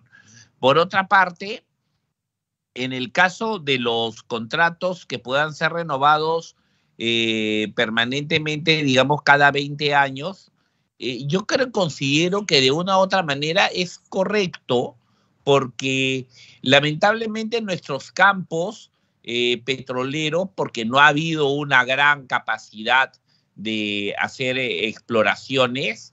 Em, son ya campos viejos cuyos niveles de producción han ido mermando a lo largo del tiempo y económicamente se van volviendo menos rentables. Y tratar de sacarlos a licitación para campos que ya están muy menguados es un poco difícil e impediría que haya mayor producción petrolera. Sin embargo, evidentemente, en estas renovaciones se deben exigir dos cosas. Uno, un plan de inversión claro para mayor exploración y explotación petrolera con una fase incremental y adicionalmente los estudios de impacto ambiental que permitan verificar que se están cumpliendo con todos los aspectos de corte ambiental ¿no? durante estas sucesivas renovaciones. Con respecto al artículo 45, vinculado al tema del pago de las regalías, en un principio yo estoy de acuerdo que si, evidentemente si hay una empresa que no paga las regalías, se le debe hacer la retención y la transmisión de propiedad. Pero se está poniendo como principal y preferente a Perú Petro. Ahora, Recuerdo que cuando debatimos este tema anteriormente, les habíamos pedido que nos pudieran informar si es que habían habido casos de empresas que no habían pagado las regalías y que efectivamente se había tenido que operar lo que se ha establecido en el artículo 45 y el artículo 42. Eh, no hay en el informe o en el dictamen alguna información al respecto.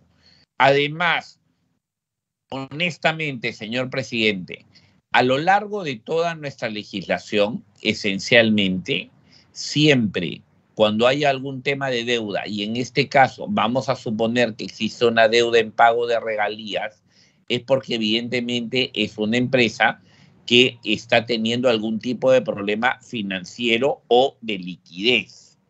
En ese aspecto, si eso es así, es altamente probable que existan deudas laborales. Y si existen deudas laborales, yo considero que evidentemente debemos de privilegiar claramente la deuda laboral frente al pago de una regalía. Una regalía es importantísima, que cabe duda, pero creo que mucho más importante es ver que efectivamente se tenga que primero cumplir con el pago a trabajadores frente a una situación que podría darse. Porque como le digo, una empresa que tiene problemas para pagar regalías, es evidente que también tiene problemas para pagar otro tipo de obligaciones. Entonces, me parece que es eh, poco pertinente privilegiar a Perú Petro en el cobro de las regalías frente a la posibilidad de existir a creencias laborales que creo que deben de ser claramente privilegiadas en un caso como este, señor presidente. Porque en ese caso los trabajadores deberían y podrían hacerse propietarios de los eh, hidrocarburos fiscalizados para luego pues proceder a la venta y hacerse el cobro de las deudas laborales y posteriormente ya ir sobre el tema de las regalías. Creo que todos somos conscientes que el, el, trabajo realizado por las personas merece evidentemente el pago de sus emolumentos, de sus sueldos, porque de lo contrario estaríamos afectando contra la estabilidad económica de los hogares, contra la alimentación y la salud de los trabajadores. En ese aspecto, me parece, señor presidente, que privilegiar esencialmente a Perú Petro en este tema eh, podría, podría, no necesariamente es así, pero podría tener algún acto de injusticia frente a aquellas personas que son los que realmente elaboran y han generado esa riqueza.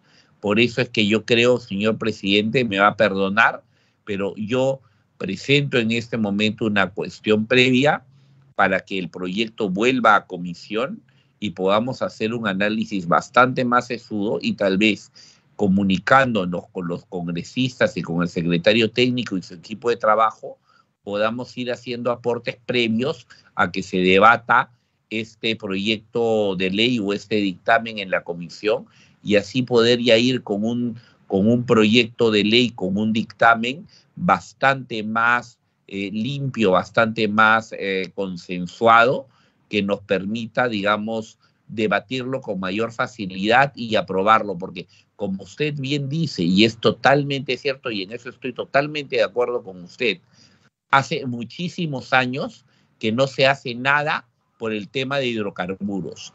Y el tema de hidrocarburos, y se lo dice alguien que es un congresista que viene de la Amazonía y que ve cómo el canon petrolero va menguando cada día más y va perjudicando a las comunidades, al, gobierno regional, a las municipalidades que no reciben canon petrolero, porque definitivamente están habiendo afectaciones porque no se están celebrando los contratos, no se está permitiendo hacer la, la em, exploración para poder eh, encontrar nuevos campos y nuevos proyectos y eso claramente nos está afectando.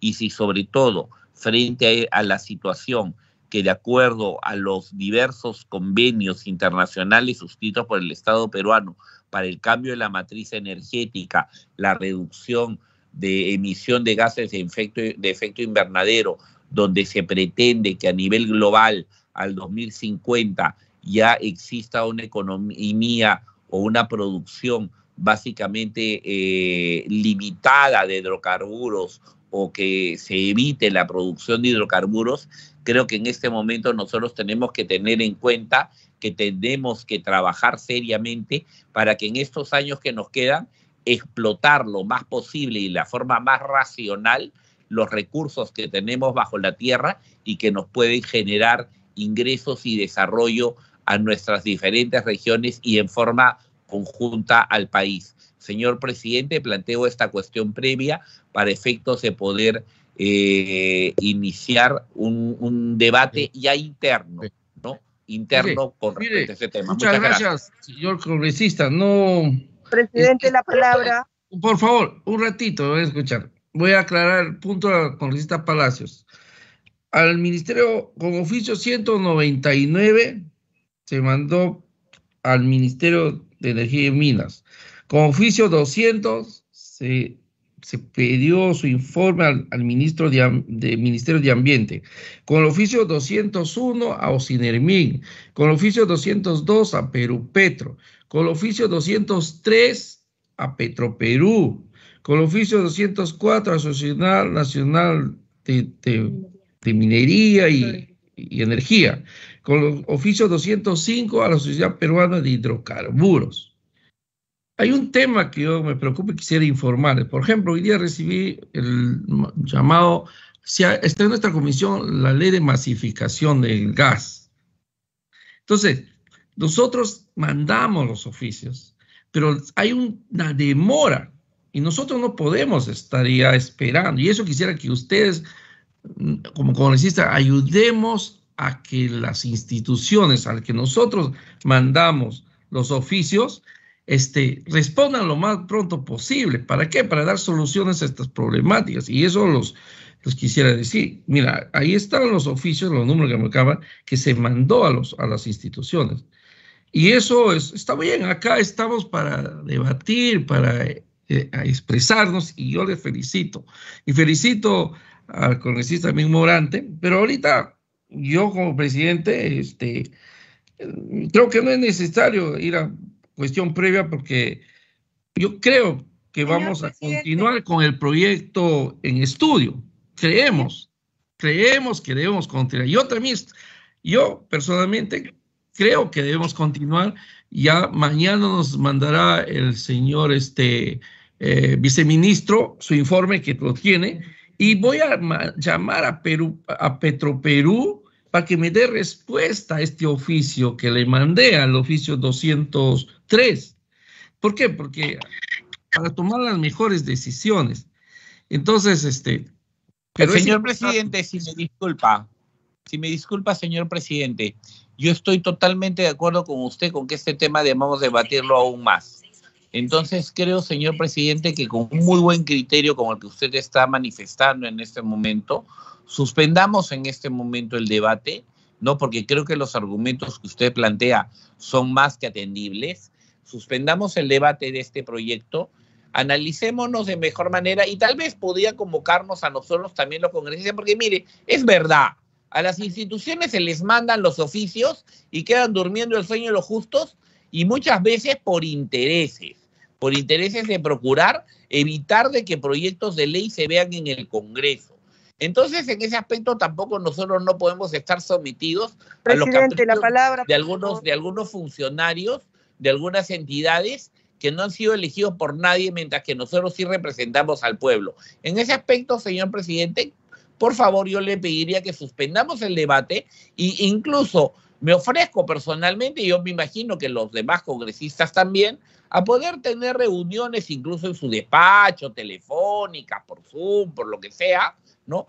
Para poder ir intercambiando opiniones e ideas que permitieran enriquecer este debate ya independientemente de que los, eh, las entidades públicas contesten o no, porque en realidad están obligadas a hacerlo, pero, insisto, muchas de ellas no lo hacen por intereses propios o intereses de determinados grupos grupos de interés o grupos de presión política. Entonces, señor presidente, yo saludo, saludo la decisión que usted tiene o que ha manifestado de suspender este debate para poder eh, irlo enriqueciendo. Gracias, señor presidente. Sí, va a ser así, señor congresista. Presidente, por favor, escúcheme, escúcheme, escúcheme. Presidente, la palabra, por favor, hay dos presidente. Estamos en la lista de oradores. Se va a suspender el debate, pero quisiera escuchar al congresista Gerí y al congresista Cordero, por favor, porque también está en la lista y es lógico que se les tiene que escuchar.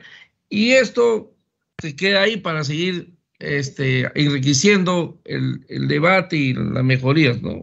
No hay problema. Presidente, yo, presidente yo, también estoy en la lista. Gracias, presidente. Después de Querí Cordero, presidente.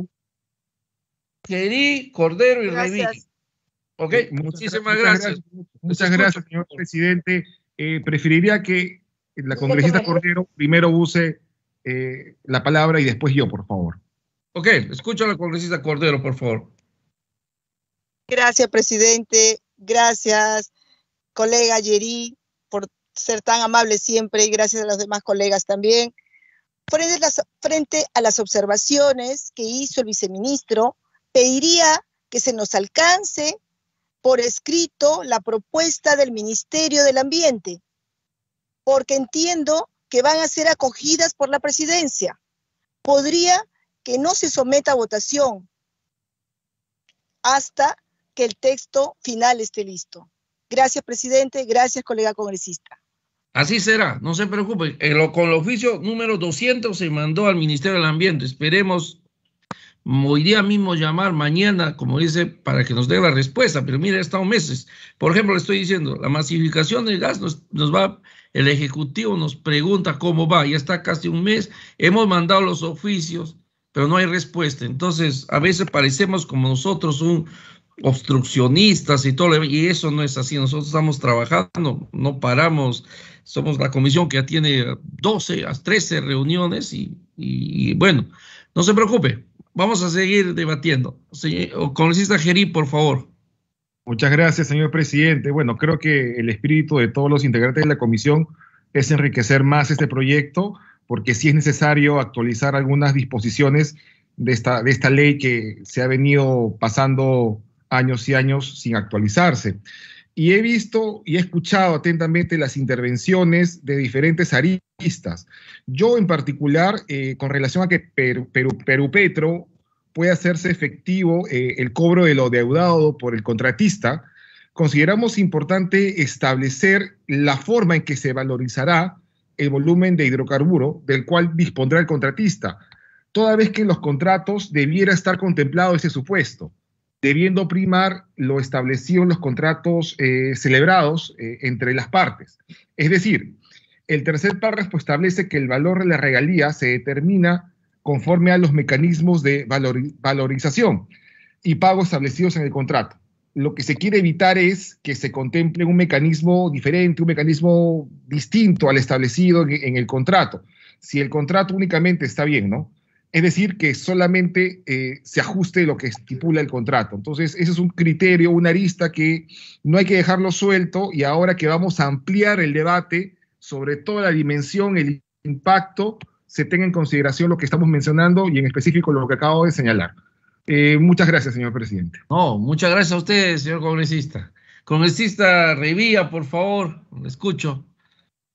Sí, eh, colegas, muy buenas tardes. Lo que siempre estamos padeciendo en todo el Congreso, en toda la función legislativa, que no se tenga las opiniones técnicas de manera oportuna, adecuada, teniendo fechas y plazos legales establecidos, por los cuales los funcionarios que no contestan podrían recibir las sanciones administrativas adecuadas.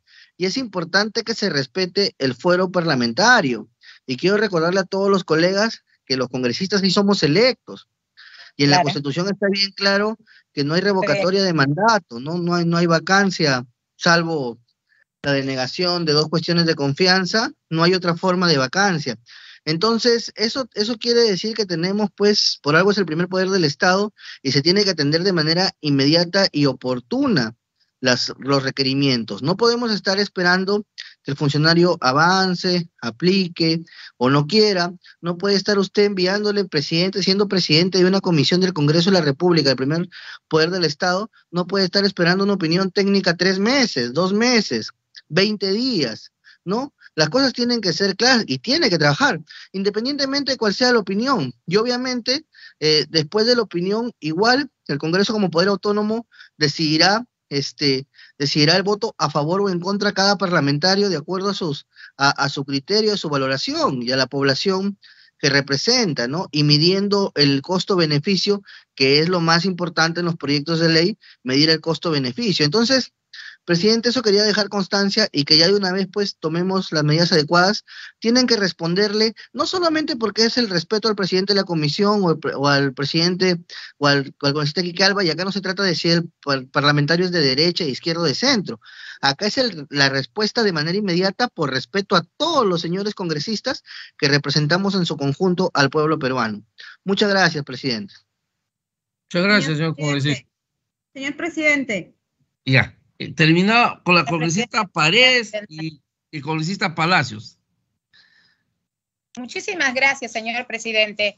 Comparto al 100% la, la participación de todos mis colegas congresistas, porque aquí debemos de respetar la institucionalidad de cada uno de nuestros sectores. En ese sentido, lamentamos muchísimo, pero al mismo tiempo, esto que sirva para poder mejorar a posterior todos los proyectos que nosotros hemos ido presentando. Yo creo aquí, eh, y nos llama de sobremanera la atención, porque eh, aquí nosotros hemos venido no solamente con un proyecto que se ha trabajado, no ayer, ya tiene seis meses y es lamentable que hasta el día de hoy nosotros no hemos podido por lo menos dar el visto bueno para que estos proyectos puedan fluir como tal y que el ministerio también asuma sus responsabilidades. Yo quiero pensar que tenemos los mejores técnicos en el Ministerio de Energía y Minas y si eso no lo tenemos, pues creo que es momento de ponernos a trabajar y poder poner a las personas idóneas en cada uno de los cargos. Eso es lo que nosotros buscamos, señor presidente, y que no solamente su proyecto, el proyecto también que está en camino es de la que le habla, que de la primera semana que nosotros hemos sido juramentados, he presentado mi proyecto, habrá sido el más de repente observado y dentro de, las, de esas observaciones se ha levantado también las observaciones como tal, y valga la redundancia. Yo creo que aquí, eh, lo ha dicho el compañero Revilla, compañero congresista, que estamos para sumar, lejos de ser de izquierda a derecha, creo que el fin es único buscar destrabar y, y que una ley que es tan importante para el sector hidrocarburos, pues nosotros podamos fortalecerlo y sea esta comisión quien se encargue, pues de la mano del ministerio. Muchísimas gracias, señor presidente. Gracias, señora congresista. Congresista, este, Palacios, por favor. Sí, gracias, señor presidente. Eh, este, solicito a usted eh, los cargos enviados a estas instituciones, a los ministerios, para emitir la opinión en relación a esta iniciativa legislativa. Y asimismo también, en este caso, uh, si no se ha respondido dentro de los tiempos establecidos según la administración pública, Solicito también que se reitere eh, principalmente a la institución más interesada, a la institución que va a verse afectada por esta iniciativa legislativa que es Petro Perú. Eh, e, esa sería mi solicitud, señor presidente. Lo que estamos buscando acá es hacer leyes que beneficien y más aún a nuestras instituciones del Perú, del Estado peruano, y no más bien que perjudiquen a estas instituciones. Espero en mi despacho esos documentos para poder también particularmente hacer el seguimiento e instar a la institución directamente afectada con esta iniciativa legislativa para que emita la opinión dentro de la brevedad posible. Muchas gracias, presidente. No se preocupe, le vamos a decir. Muchas gracias. Muchas gracias. Señor presidente, un señor presidente, señor, señor presidente, un minuto, por favor, Jorge Morante. Escucho, señor Morante. Escucho. Sí, por favor, por favor. Señor presidente, disculpe usted y discúlpeme los colegas, eh, entendiendo que este proyecto va a retornar a la comisión para un mayor análisis, y lo cual agradezco sobremanera. Eh, le pido la dispensa, señor presidente, porque tengo que retirarme de la sesión, ya que tengo un procedimiento médico que realizarme en los próximos minutos. Sin embargo, quisiera dejar constancia de mi eh, voto a favor para la aprobación del acta. Muchísimas gracias, señor presidente. Muchísimas gracias a usted, señor congresista. Muchas gracias. Señor Geri, por favor. Sí, este, gracias, señor presidente.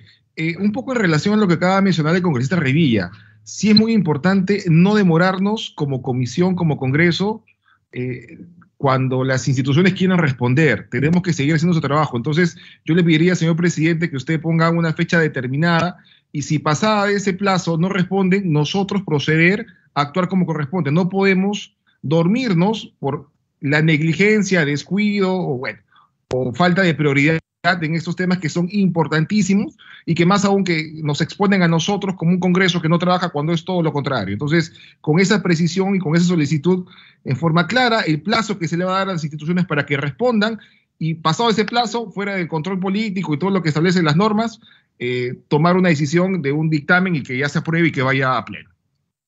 Ok, muchas gracias, congresista. Congresista, congresista Cruz, ¿tiene una palabra? Sí, no? sí, sí, sí, presidente. Eh, brevemente, para no extender mucho, ya que estamos en una en un consenso de que vuelve para la comisión o para que se debata mejor este tema. Eh, quizá algo que no se ha dicho es que eh, habría que considerar para el debate posterior cómo es que así a las empresas en caso de que se ampliaran los contratos por 20 años más y 20 años más, eh, en qué medida se, va a pasar por una evaluación, porque de pronto, eh, ¿cuál es el nivel de producción, de rendimiento, de eficiencia de estas empresas? De 1 a 10, ¿cuánto han producido? ¿O es que han dejado pasar el tiempo nada más? ¿O es que no quieren soltar simplemente la concesión? Y hay muchos esperando en el mundo, inversionistas existen. Y creo que nosotros le queremos dar una estabilidad jurídica al país, estamos respetando la constitución vigente, correcto, pero ¿en qué medida, no es cierto? Estas empresas merecen o no merecen que se les amplíen los contratos. Ahora que estamos en una política y un gobierno y un Congreso que eh, va por la defensa de los recursos naturales que son del país, entonces tenemos que hacer una buena decisión para la gestión de esos recursos naturales. Debería sospechoso para mí de por qué hay que homologar también estos plazos de concesión de contratos de 40 a 30, es que luego ya, pues no, ¿por qué? No, yo creo que hay que rotar a los inversionistas. No podemos estar con engreídos o, con indispensables. En el mundo hay miles y millones de inversionistas. Les abrimos las puertas, correcto, pero las reglas de juego debe ponerlo la soberanía de este país, de este Congreso. Entonces, en defensa de los recursos naturales, y esto hay que tener, no soy especialista yo, es mi sentido común lo que me hace pensar así, ¿no? Y entonces hay que debatirlo mejor y en su momento tomar una buena decisión. Solamente eso, señor presidente. Muy bien, Muchísimas gracias. Entonces, este, ya queda, vamos a seguir debatiéndolo, enriqueciéndolo, mejorándolo, pero tengan la seguridad que todo lo que se va a hacer en esta comisión es por mejoría de nuestra gran, de nuestro Perú. Así que, viceministro está ahí, tiene alguna palabra para ya cerrar la sesión. Señor viceministro. Gracias, señor presidente. Estamos acá presentes. Eh, reiterarle nuestro apoyo para que en el desarrollo de esta comisión se pueda llevar a cabo cualquier absorción de, la, desde la perspectiva y desde el punto de vista técnico y del sector para poder ayudar a la formulación y al desarrollo de este proyecto de ley que nos parece muy importante en el tema de hidrocarburos. Pero también quería eh, manifestarle, señor presidente, de que el documento mencionado nos ha llegado a nosotros el 15 de diciembre, ¿no? Si bien es cierto, eh, hemos avanzado, pero por, por, el desarrollo de toda la actividad que se ha presentado en el sector de energía y minas, no hemos podido responder y de acuerdo a, la tramitología, hubiéramos podido tener plazo hasta el 11 de enero. Sin embargo, estamos llevando a cabo ya eh, la presentación de ese informe eh, a la Comisión de Energía y Minas el día de mañana a través de su presidencia.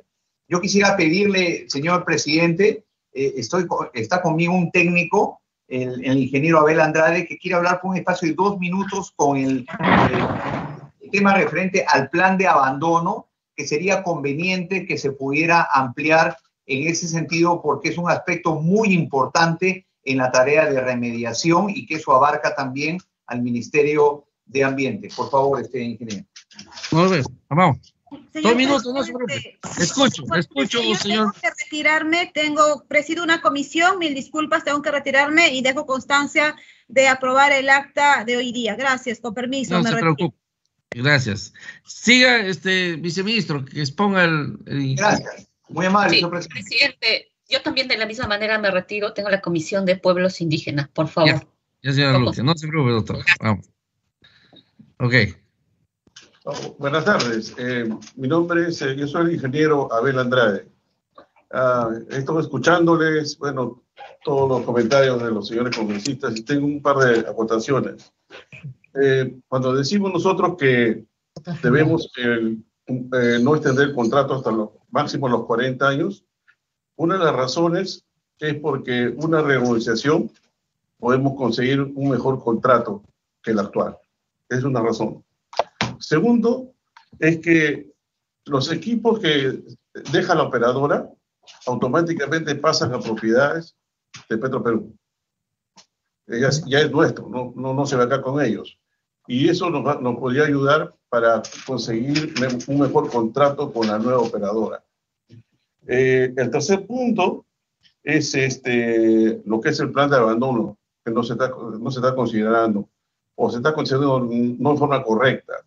Eh, la ley ahora dice de que ese plan de abandono se tiene que aplicar cinco años antes que vence el contrato.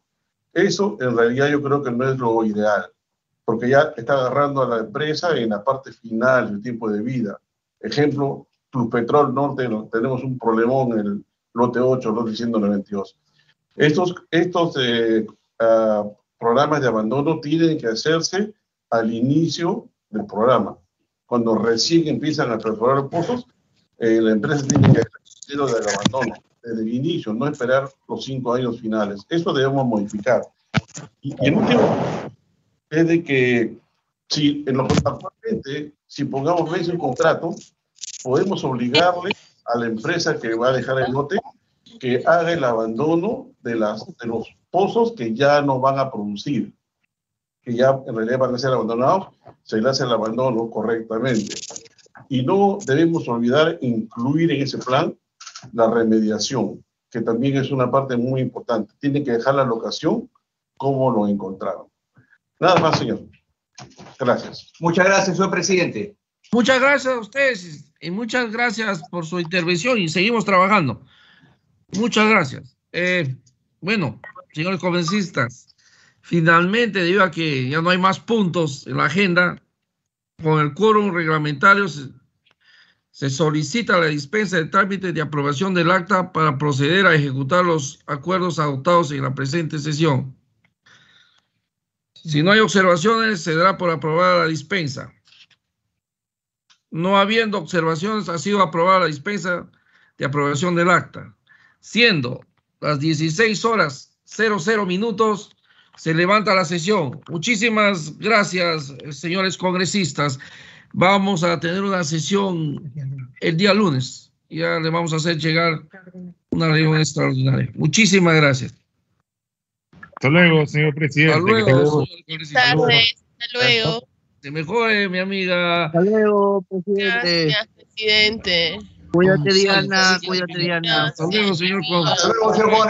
Señor presidente, muchas gracias.